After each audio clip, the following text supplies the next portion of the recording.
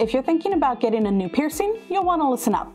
Hi, I'm Rebecca with Body Art Forms, and I'll be going over what jewelry materials you should avoid for your new piercings. Before we dive in, let's quickly discuss why choosing the right jewelry is so important for fresh piercings. Using the wrong materials can lead to irritation, infections, longer healing times, and possibly even rejection. Let's ensure your piercing journey is smooth and trouble-free. Steer clear of low-quality alloys that may contain large quantities of less biocompatible metals like tin, zinc, copper, brass, and especially nickel, especially for initial piercings. While it might look shiny and attractive, nickel is a common allergen that can cause skin irritation and allergic reactions. All of these metals can cause reactions and can even lead to the piercing getting rejected. Next up is surgical steel. Just because it has the word surgical, it doesn't mean it's safe. There's no formal grading for surgical steel, so while some implant grade steel will work for many people, some less expensive options may contain nickel or other alloys that can be harmful to your piercing. Another material is sterling silver or 925 silver. It's beautiful, but it's not the best choice for fresh piercings. It can tarnish and it may also contain metals that cause reactions. Lastly, avoid jewelry that is plated or coated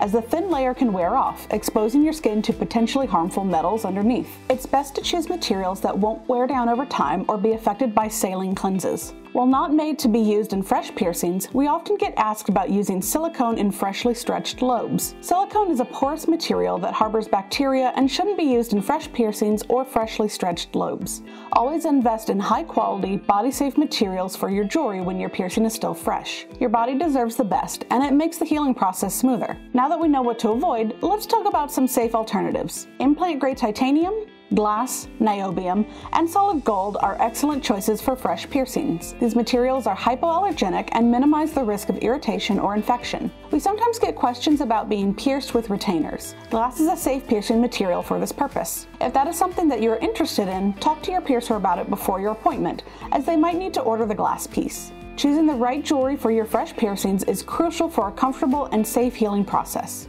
Hopefully this makes choosing your jewelry materials easier. Thanks for watching, and don't forget to like and follow us on all of our social platforms at Body Art Forms. Bye!